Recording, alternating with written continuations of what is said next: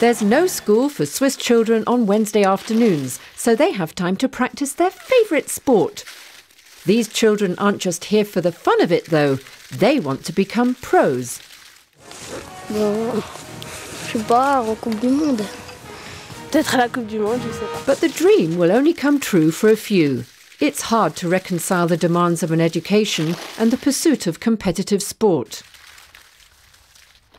Je vais continuer au moins jusqu'en OJ2, puis après, ben, je vais voir si ça va avec mon école.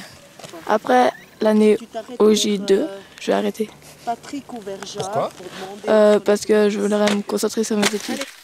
For those who don't live in a ski area, it's even tougher.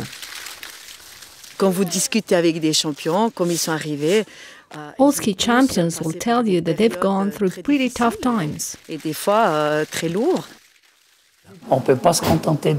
Training on the snow for only a couple of days a week isn't enough. If you look at all other sports, tennis, hockey, football, talented young people train four or even five times a week. Euh, ils font 3, 4 entraînements, euh, voire 5 entraînements par semaine. It's not even easy for children who go to special sports schools to find time to train. Alors, euh, ben, c'est aménagé pour les tennisman ou euh, les gymnastes, mais pas pour les skieurs. parce qu'il y a juste le mercredi on n'a pas cours. The floodlit slope can help them, but for the parents, it also means more money.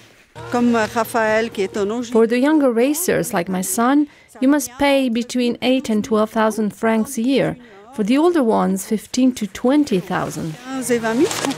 So, all things considered, to make it to the top as a skier, it takes more than just talent and willpower.